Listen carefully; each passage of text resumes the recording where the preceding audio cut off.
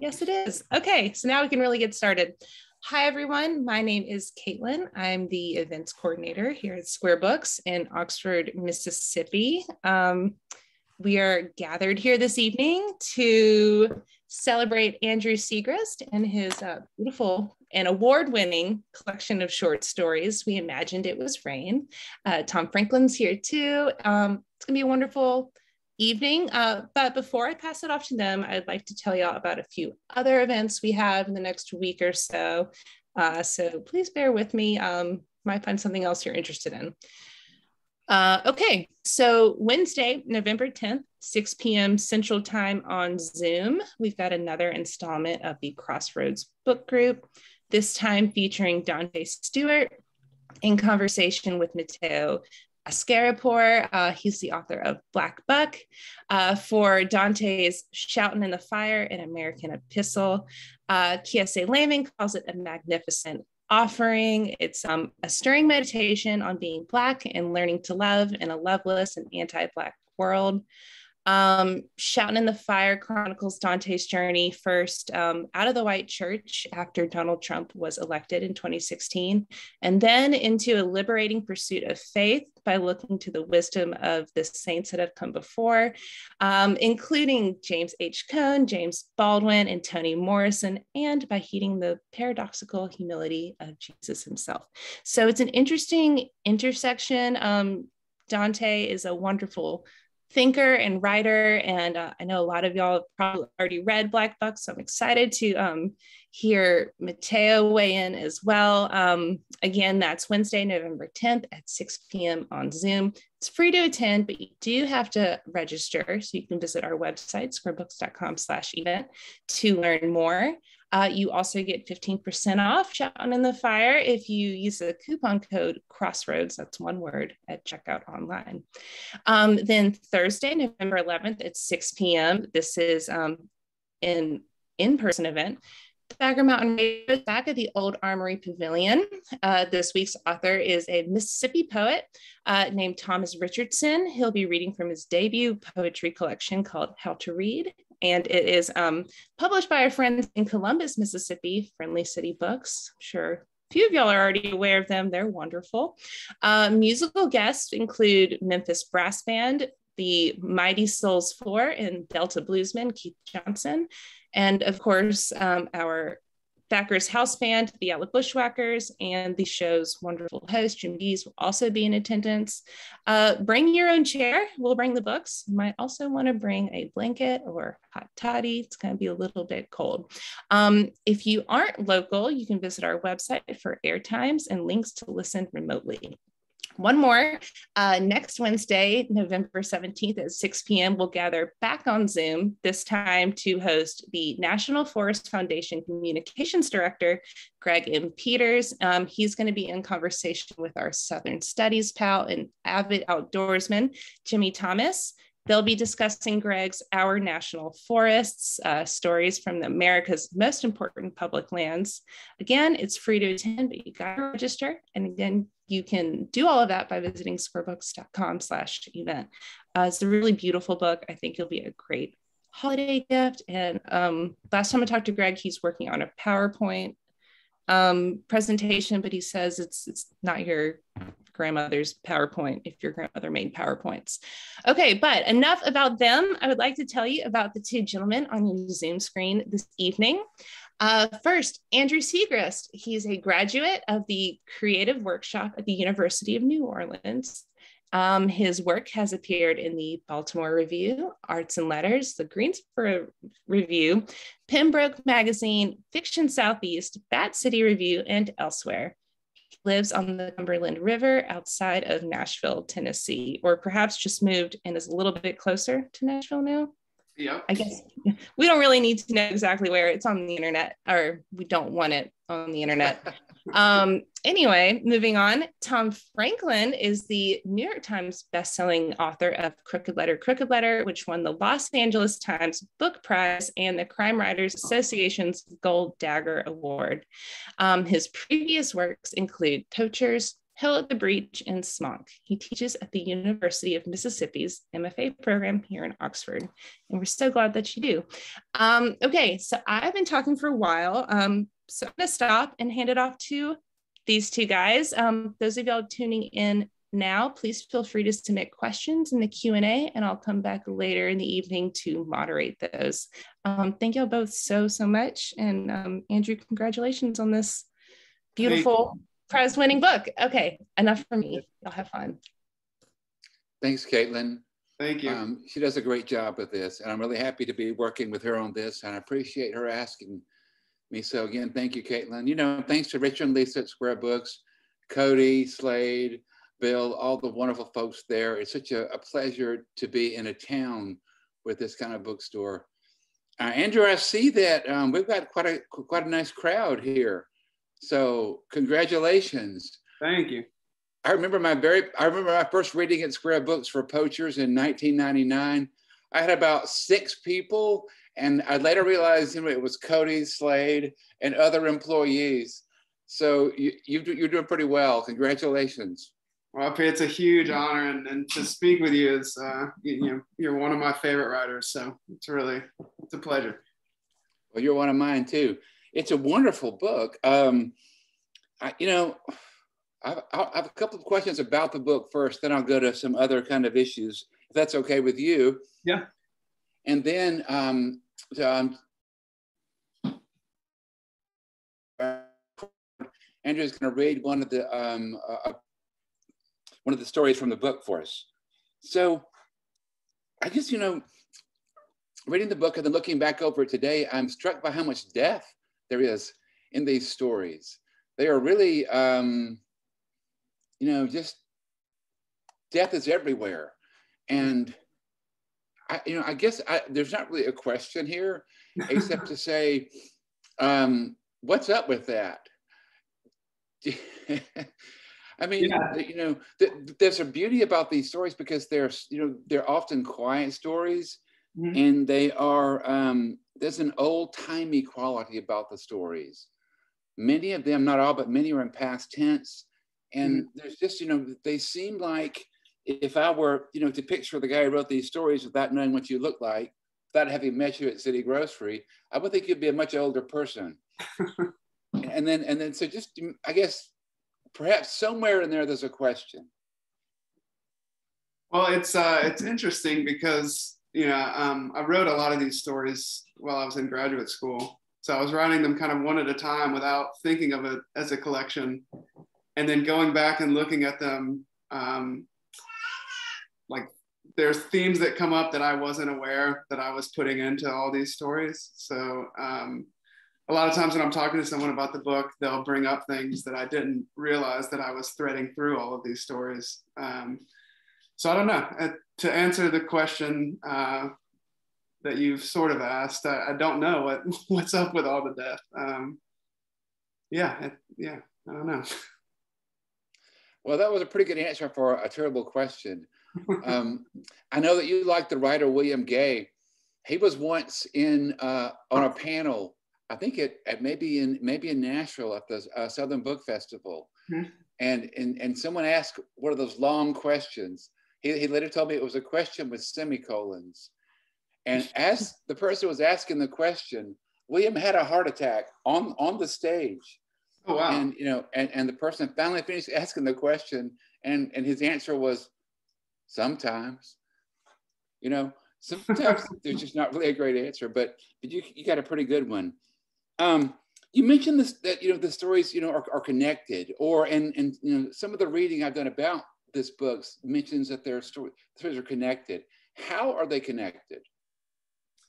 I think the main uh, connection with these stories would be the setting. Um, I grew up in Middle Tennessee, and then I've, I've, I've, spent a lot of time in Southeast Tennessee in the Appalachian Mountains. And in my head, all these stories kind of take place in this amalgamation of those two places, sort of on the river in Middle Tennessee, and then in the mountains in Southeast Tennessee.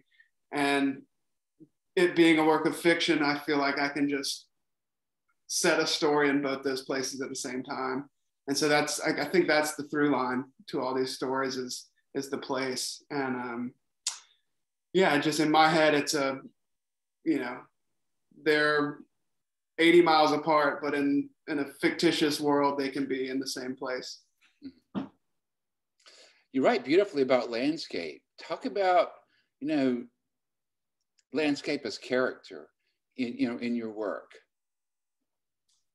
Yeah, I think that's where I draw the most inspiration is just kind of being outside by myself and and, and you know um, I've never been uh, very good at plot. Um, so for me, if, when I sit down to write, when I sit down with a blank sheet of paper, I'm going to write a description of, you know, a leaf falling from a tree or something. I'm not, you know, I, I don't have um, a lot of big uh, intellectual ideas of, uh, uh, in, in terms of like what I'm trying to convey with, with a story or, or intricate plot. But looking at, you know, the river passing by or looking at, you know, um, just the way the wind moves through the tall grass or something. That's sort of what I'm interested in as far as um, putting down on the page. Yeah, that's one thing I love about these stories and about your writing in general is that acute attention to detail. Um, it's something that I, you know, that I aspire to, and something that I most admire when a writer gets, you know, gets something right and makes me see it freshly, or you know, or see it anew. Um, how do you think you you got that ability? You know, where did you learn?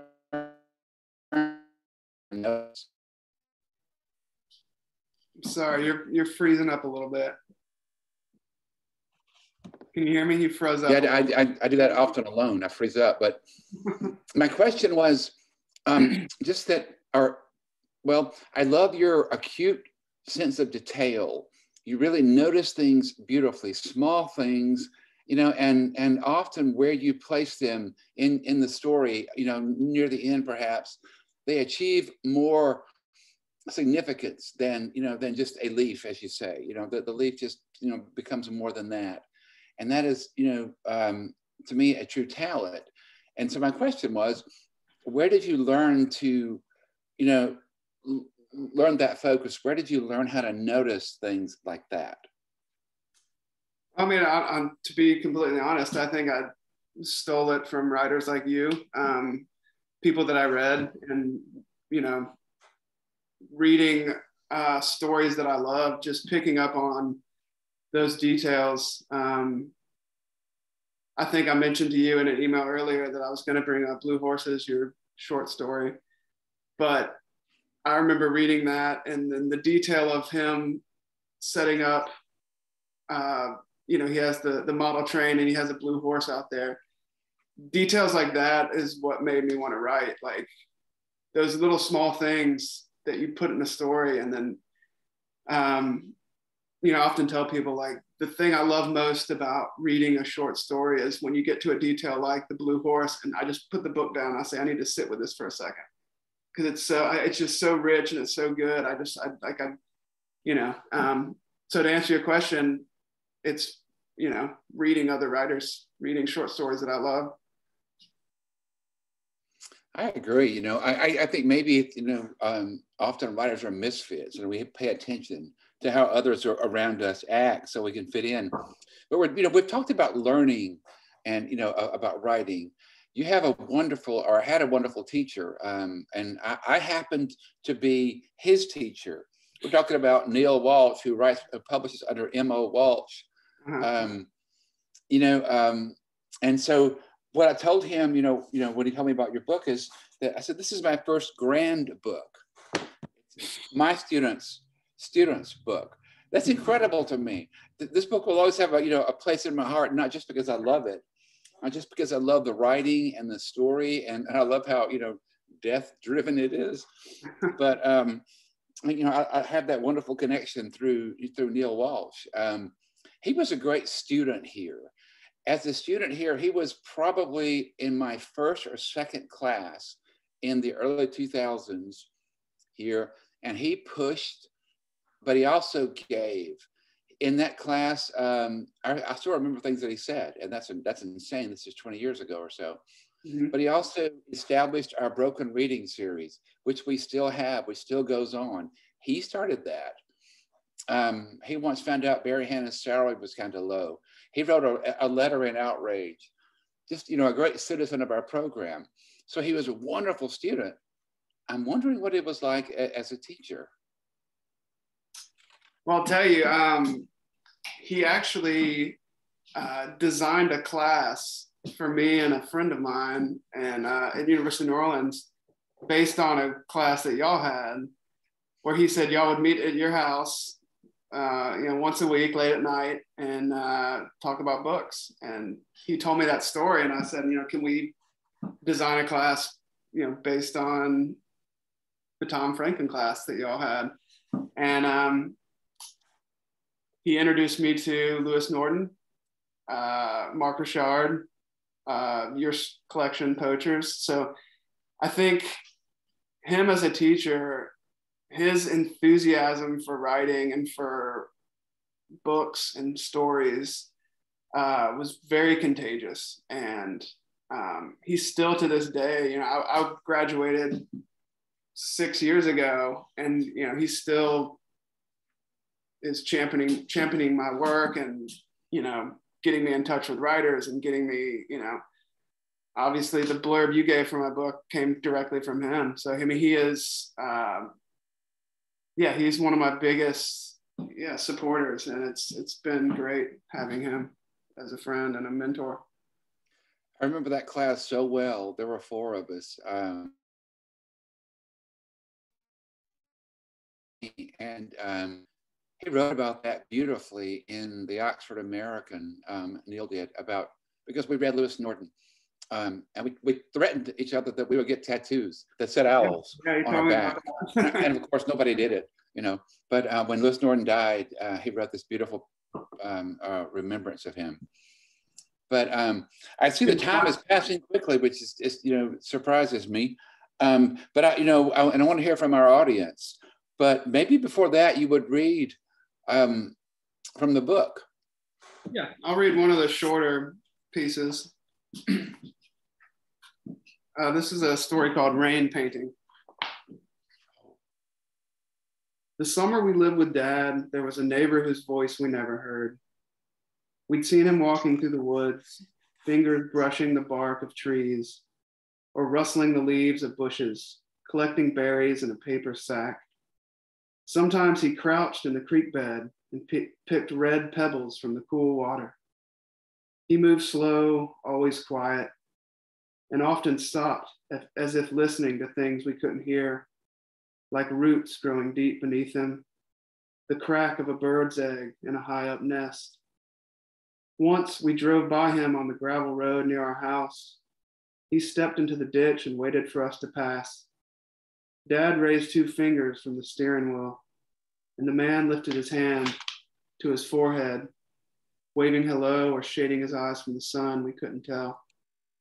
The rain painter, Dad said, watching the rearview mirror.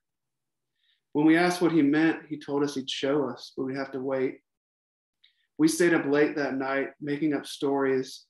The rain painter standing beneath a heavy sky, wetting his brush with storm water slashing at a canvas until something evil took shape. We listened with our ears pressed against the window for some promise of rain to break loose from the sky, some spark to waken the dark world. And if it had, we'd have been afraid to open our eyes, afraid the stories we told were true. The next morning, we walked past, he walked past our house carrying a stack of folded sheets. What's he doing? We said getting ready for the rain, Dad said. Dad had been checking the weather every night after calling mom behind the closed door. We'd lie on the floor outside his room and listen as he begged her for a few more days. When the storm came, Dad called in sick to work. With the first tinks of rain on the roof, he told us to hurry. We followed him through the woods that were thick with the smell of rain. The air had cooled. We watched uh, we reached out our hands and felt the trees bark as we ran. Dad stopped and pointed to the canopy of the woods. Sheets, he said. We ran in circles beneath sheets that were hung between branches so high above us, each sheet stained a different color. We outstretched our arms, our palms catching all different colors of rain. The strange rain dripped from our hair and down our faces, reds and blues and purples. We opened our mouths and tasted it. Some sheets were heavy with the weight of picked berries, other, others colored with the dust of crushed creek pebbles. When the rain lightened, our clothes were stained, our tongues and teeth carnival colored. We were laughing. Dad stood far away, watching silently. The next morning, we slipped back into the stained clothes we had begged him not to wash. And when mom picked us up, she shook her head. Couldn't even keep them clean, she said, before taking us away. I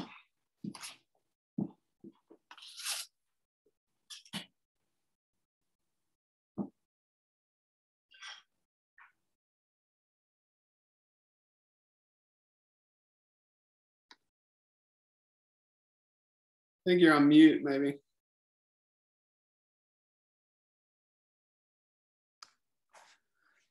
How's that? Is it better? All right, I can hear you now. Sorry, man. I just said the most eloquent thing too. God, it's eloquent.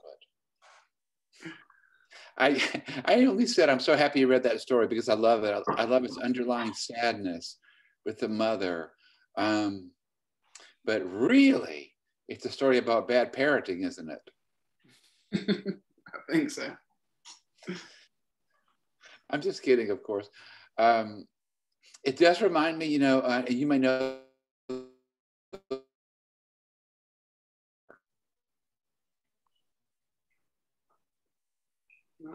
Did, I freeze? Yeah, you froze a little bit. You're back. Yeah. I'm back. Okay. Uh, it, I just said, um, do you know William Gay's story, The Light Painter? Yeah, I think so. Yeah. Anyway, so um, Caitlin, are there any questions from our audience? Um, yeah, we do have a question. Um, and if anyone else has any, now's the time. But this is um this is a great one. Thank you, Christopher. So uh, Christopher says, "Thanks, Andrew, for spending time with us tonight." Um, I second that. Um, and then he goes on to say, uh, when you write, and perhaps especially when you revise, how do you handle the story in your mind versus the story on the page? Um, this is a great question. Um, a writing mentor once told me that no matter how good the written product is, we'll never be able to truly capture what's in our head. And I'm curious if that speaks to you, slash, if it affects how you know when to finally decide a story is done. Whew, good one. No pressure, Andrew. All right, I'll, I'll try to tackle that one. I, it, for me, there's a weird um, progression in terms of writing. Is uh, you know when when I'm looking at a blank page, I'm terrified, and then when I get an idea, I feel like this could be the greatest story I've ever written. And then when I have a couple drafts, I think it's the worst story I've probably ever written, and it just kind of cycles that way. Um, I don't know if that answered the. I'm kind of forgetting the question, but um, sounds like love, falling in love. But go yeah. on. yeah. No, it's just this constant cycle of like being very excited about an idea and then thinking you want to throw it away and then getting excited about it again. And at some point, you just have to print it and put it in a drawer somewhere. There you go. Um, okay, I have another one. Um, Drew says, um, how does poetry impact your work? Who are some of the poets you most like to read? So I think I know which Drew that is um, based on the question. But um, my favorite writer is C.D. Wright.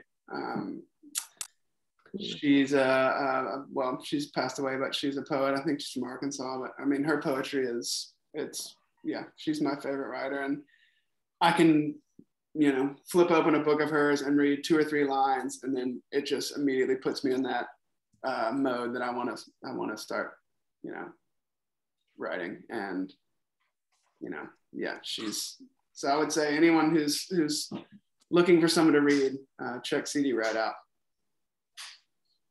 All right. Oh, you got all kinds of questions coming in. I like this audience. I love all of our audiences, but this is great. Um, Jenny writes, um, what sparks creativity for you or what helps you move your creative re- process along? Um, I'll give a kind of strange answer to this. There's a um, writing exercise that I do pretty often where I'll just um, actually use a random word generator uh, for online and just write like an entire page of nouns down and then go back and circle uh, 15 or 20 of them and then try and use those nouns in as short of a you know like a page or two and try to get them all in. And i've found that doing that exercise it creates some really um, interesting not always great but uh, interesting pages that i can get down. So that's kind of my daily writing exercise that i do i love that a little like i guess it's not Oulipo, but close um, okay, Gail says, um, did you write as a child or a very young person? Um, and and did you journal ever? Did that affect your writing? So uh, embarrassingly, I have to admit that I I came to writing very late. Um, I didn't actually even start reading till I was like 18 or 19. Um, Anytime and so I started writing in college. So yeah, it's it, I wish I had a, I wish I had read and wrote as a child, but I unfortunately did not. Oh, I do now keep a journal and, and try to write as much as I can. And can, can I speak to that? Yeah, of course. I know. It matters at all. You know, if you would, if you would have would have written or am I am I muted? No, you're good. Yeah. Go on. Okay. I was just gonna say, I don't think it mattered what you did as a kid. You know, I mean, you know, you, you know, uh, I think so much of what we write comes from our childhood and mm-hmm. from all the things that happened to you. So just you know what Flannery O'Connor said: if you can uh, survive childhood, you have enough material, you know, to, to last you the rest of your life. Enough and enough information, she said, to last you the rest of your life. And I always amend that to say if you're a writer and you survive your childhood, you have enough material for the rest of your life. So, you know, um, I think always having written doesn't matter. You know, what matters is you came at it at the right time. And college is a really good time, I think, to come at it because you're slowing down in the world and you're noticing what you know what really matters to you. So, you know, I, I, I you know, yeah. Can I ask you, Tom, when when did you get uh, when did you start writing? Right from the womb, I was writing. um, no, you know, but but what I was always doing uh, as a kid, and maybe you were too, and I almost count this as writing is telling stories in one way or another. Uh, I would um, play with little action figures, and I would construct narratives about them. Uh, I would my cousins and I would make photo novels. We would take pictures of ourselves acting out little adventures mm-hmm. in costumes with plastic swords. And I'd paste them to the pages of a book and do captions of dialogue. So it was always in one way or another telling stories.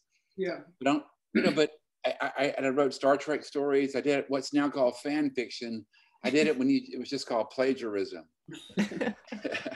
but uh, at some point, and honestly, I think it was like you in college, I noticed, well, I found Barry Hannah. And Barry mm-hmm. Hannah just took me by the lapel and said, stop. You know, not Stephen King, not like that. It's like this. Uh, and, you know, and I just started, I wanted nothing more than to write sentences like Barry Hannah sentences. And, um, you know, story mattered nothing to him. And I, I, love Barry Hannah's definition of plot.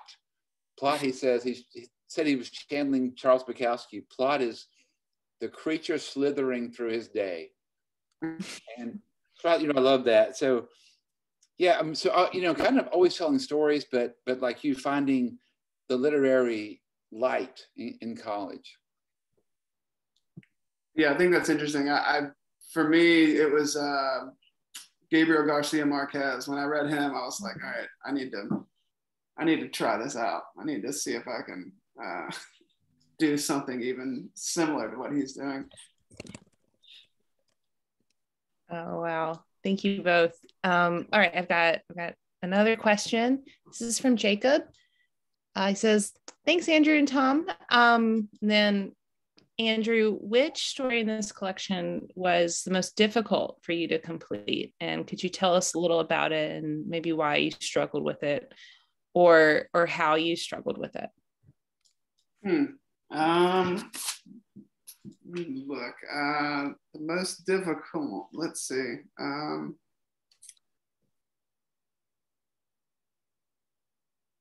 I'd say uh, the story Satellites probably was the most difficult. Um, and I don't know, I think I was kind of writing it. It was after I'd finished graduate school. And so I was sort of writing it in a, what felt like a void, like I didn't have anyone to show it to. Mm. I would finish a draft and I'd reread it, and I didn't really have anyone to bounce the story off of to see if it was working or not. Um, and at the time, I actually had uh, I had a uh, injury at work.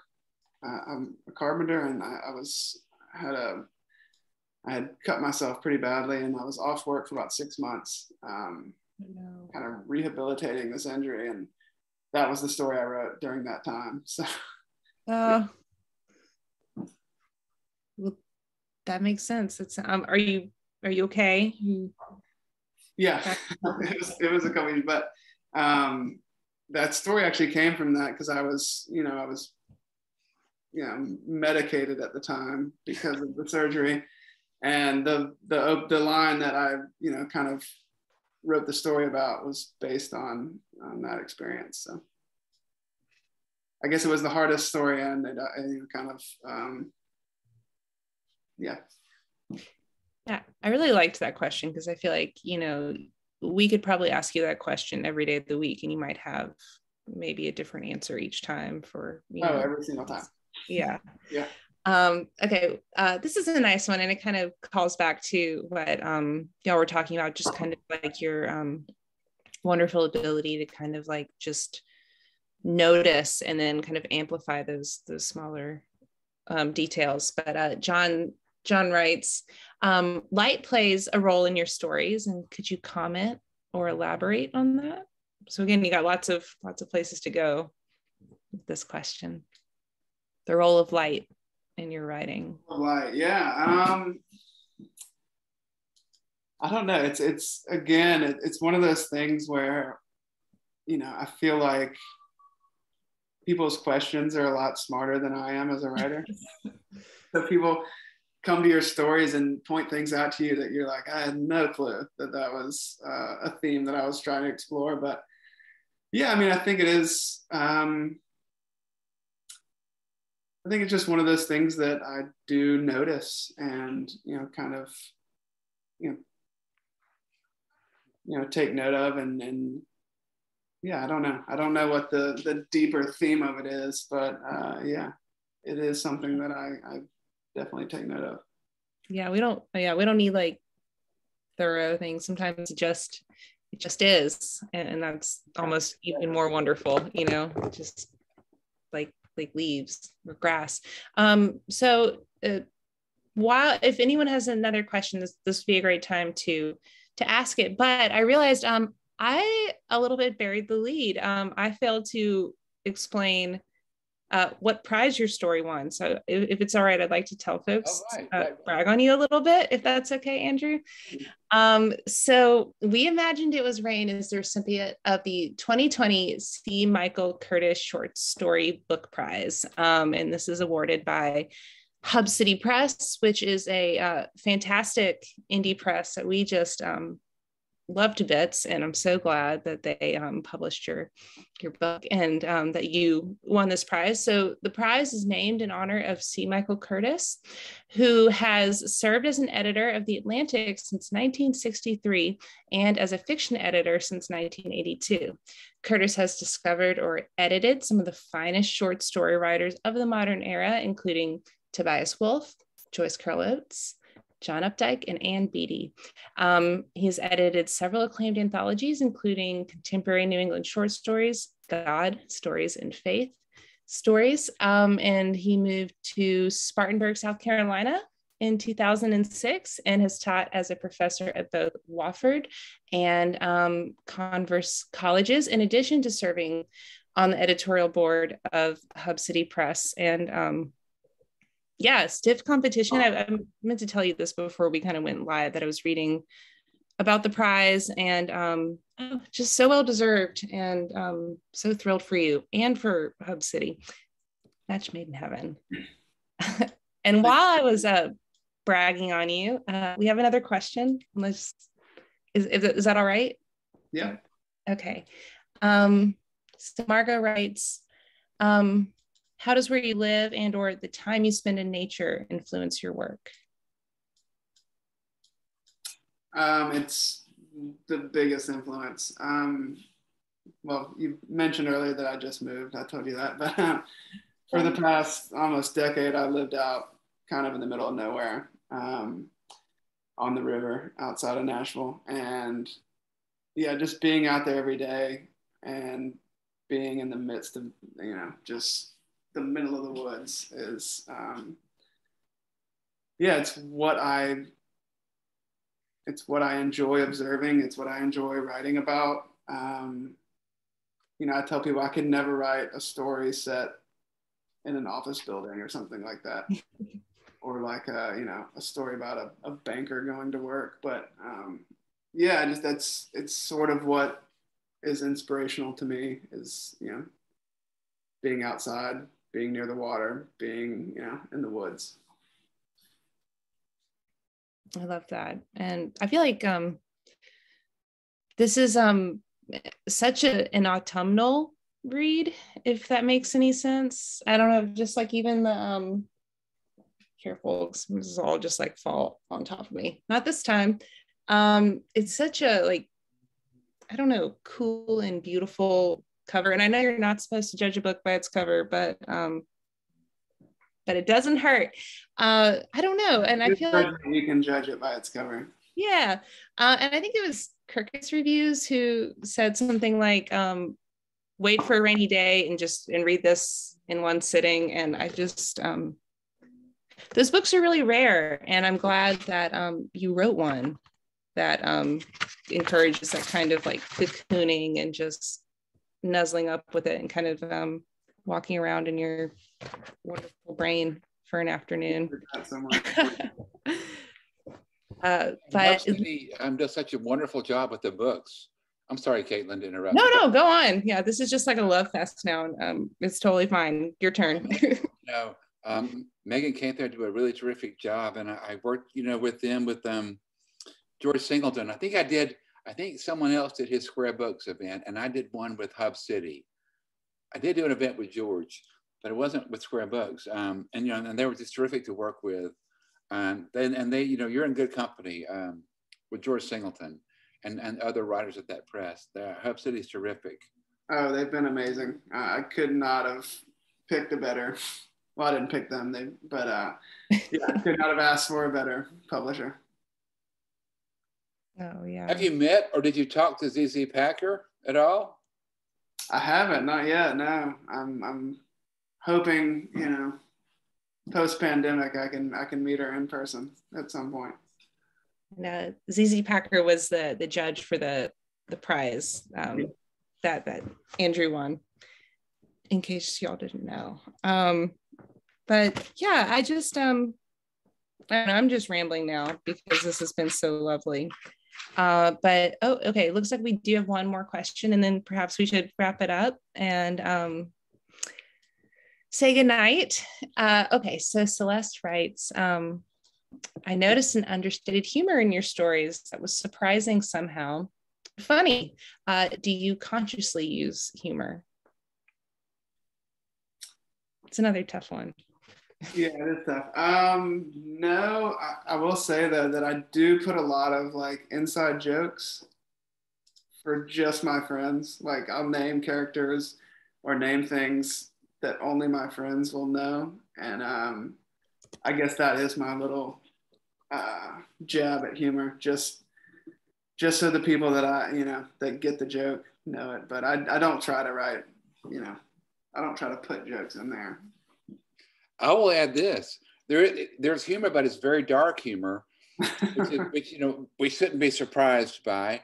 Like you know, the executing the elephant story. Sorry, but it's kind of funny. Whenever you execute an elephant, it's funny. It shouldn't be. But that that that's a that's a story based on true events. So yeah. Oh God. If you want to, if you want to Google the picture, you can, but I wouldn't. Uh, I, wouldn't I don't. I don't. I'm not going to send y'all that link, audience. oh man, I don't want to end on that note. um, but anyway, this has just been um a wonderful evening, and thank you for for reading too. I think if those of y'all who haven't read the book yet, I think it gives you um a really nice kind of taste for I hate that, uh, but you know, kind of sense for what kind of um, book you'll you'll have when you buy it. Um, and I, I've linked it like quite a few times, but if you um, haven't bought it yet, uh, I would really love to sell it to you. We have book plates in the mail right now. I'm happy to hold your book until those arrive, and um, just a little a little guilt trip. Um, Square Books or any independent bookstore um, can't hold author events, virtual, in person, hybrid, you know, whatever we come up with next, puppet shows, who knows, um, without your support. So if you don't have the book yet, um, I would really encourage you to buy it from us um, or, you know, your local indie, but maybe us. And um, yeah, I don't know. Um, Andrew, Tom, would y'all like to to say the last thing so it's not more of, of me speaking? I'd just like to say thank you so much to Tom and to you, Caitlin. Like it, this oh, yeah. is really, really special for me. Special for me too. Thank you both. I've really had a good time, and it's a beautiful book, everybody. I promise you. Mm-hmm. Also, paperback original French flaps It's just first class all the way. Love it. I do love. Um, yeah, it does. Yeah, it smells good um yeah um andrew i so look forward to hosting you um for the next book. Maybe we'll get to do it in person. We can all go to city grocery this time. Uh if not then then you know perhaps sticks at the ryman. Who knows? Um but okay um this has really been wonderful. Thank you both so much. And and thank you to our wonderful audience um for for all your wonderful questions. It's so so great. Um and yeah, anyway, wishing everybody good health and happy reading. Take care. Thank you so much. I appreciate yeah, it. Thank y'all. Oh, and thank you, uh, Kate. You're a wonderful publicist. It's been such a pleasure to work with her too. Okay. Um, so fond of you all. Thank you for everything you do. All right. I'm going to push the big red button and say goodnight. Okay. Bye.